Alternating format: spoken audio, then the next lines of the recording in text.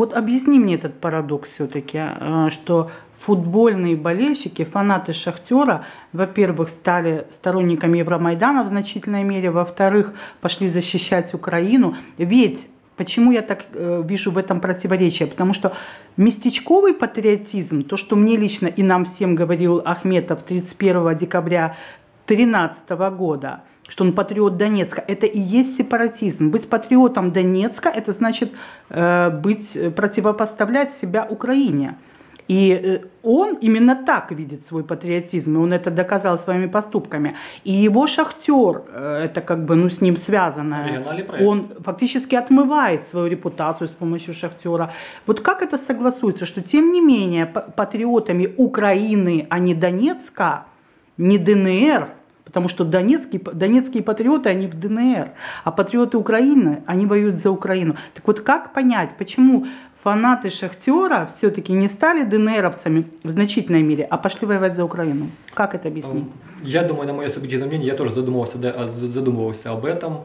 А, я там даже там, в некоторых статьях и в некоторых книжках этого касалось. А на мое субъективное, субъективное мнение, мы были просто имплементированы, и участвовали в общеукраинском фанат, фанатском контексте.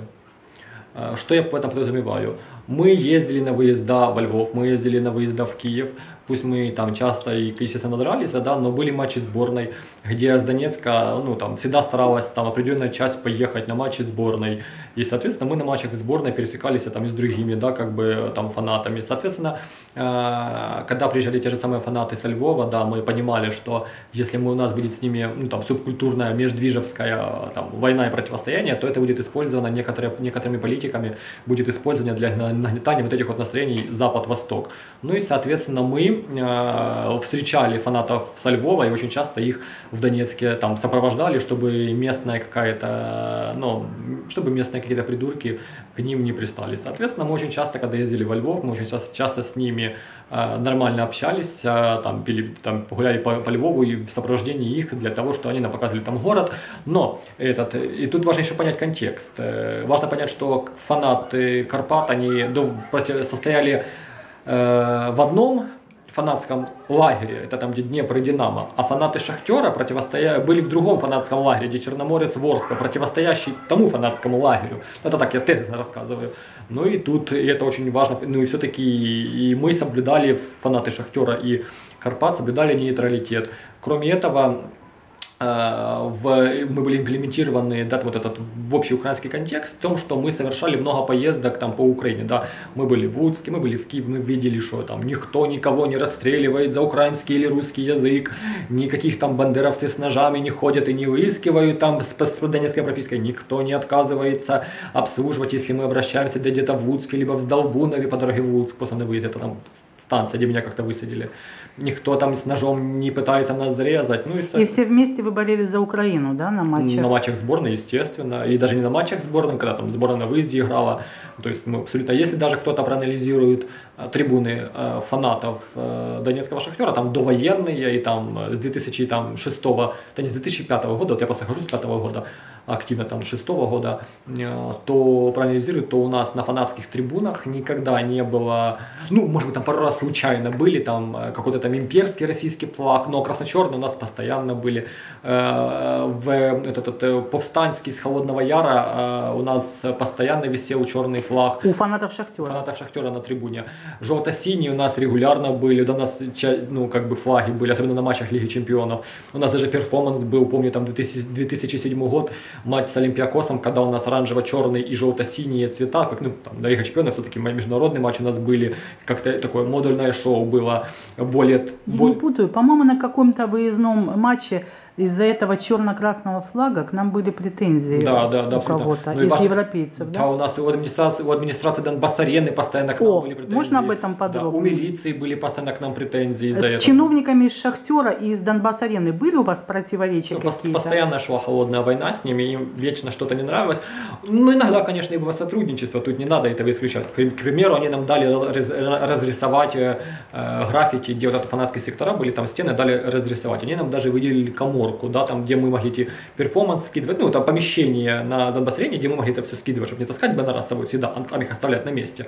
Это классно, классно. Но у них без конца были там претензии то к красно-черному флагу. Они, то есть они его националистическим или нацистским они, там, они, они, они говорили, что это политика. Без конца, без конца данные с камер, э, с камер охраны оказывались у милиции, да, как бы. Но если вы считаете нас частью своей команды, а потом сдаете же наши данные ментам, милиции, о каком о какой дружбе может идти речь, как говорится, да, то есть, соответственно, э, давайте, давайте вспомним это видео сепарское с канала НТВ, когда они э, зашли на, на, на, Донбасс-арену и взломали какой-то сейф, это весной 2014 года или летом 2014 года, и нашли папку, и начали эту папку листать, это весна 2014 года, а там наши данные есть все. Это видео есть в YouTube, я могу там скинуть тебе этот, и ссылку, как бы, и, а потом по этим адресам, то есть кто-то Получается, я, насколько я знаю, только милиция может как, собирать какие-то базы данных.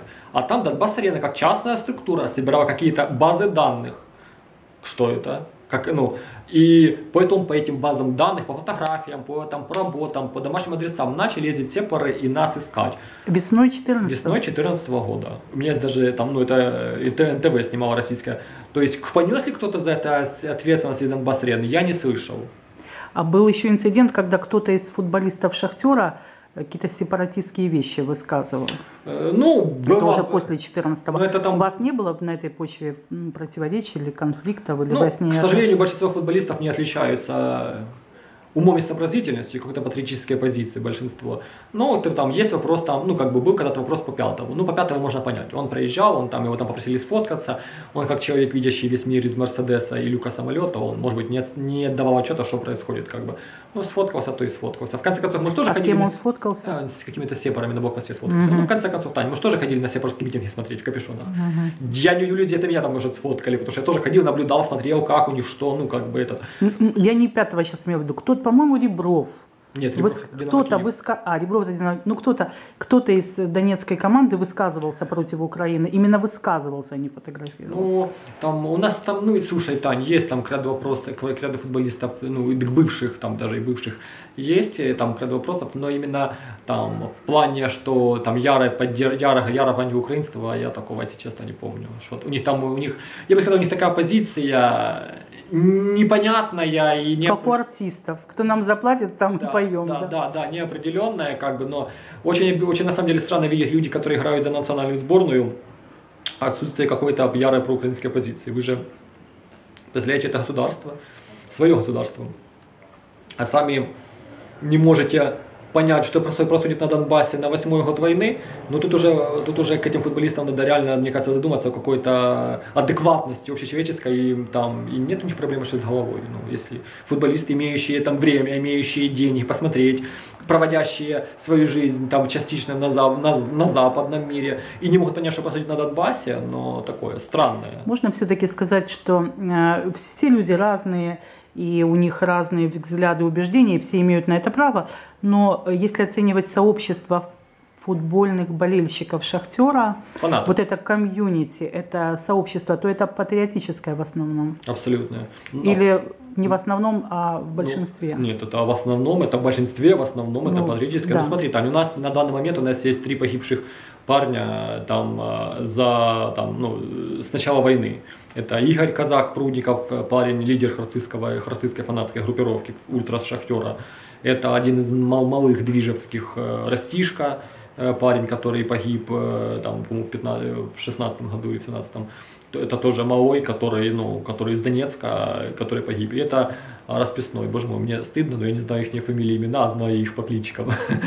Да, этот, э, и, ну, и, ну, и расписной человек, который героический, он там не был прямо таким активным фанатом из-за возраста, но на секторе он был и появлялся, как бы, то есть, и... Взрослый он, в смысле, уже? Нет, нет, нет, он был такой... Да, он был, они мелкие, это растишка этот, если казак он был, казак он был хотя бы там, ну, более какой-то, более-менее взрослого возраста, то, то те просто были там по 18-20 лет. И расписной вообще, он в аэропорту киборгом был, как бы ездил в аэропорт, ездил, То есть и ну, у нас уже есть, ну, Тань, как мы можем, как наша комьюнити может быть нейтральным, либо как-то неопределенным, если у нас уже есть погибшие. Если мы в 2014 году, ну, практически всем пришлось, 95% пришлось просто бежать. Не просто уезжать, а просто бежать, потому что по квартирам, по работам ходили менты и сепары, и просто нас уже, э, ну, там, забирали, и этот, ну, о какой нейтральности? Конечно, много. Этот, конечно, мы ненавидим всю эту оккупационную там э, власть, всю эту э, ДНРовскую шобу, и ну, мы сделаем все э, после возвращения, чтобы э, они отправились во своясь, а будь это Россия или э, это, то это уже решит ситуацию.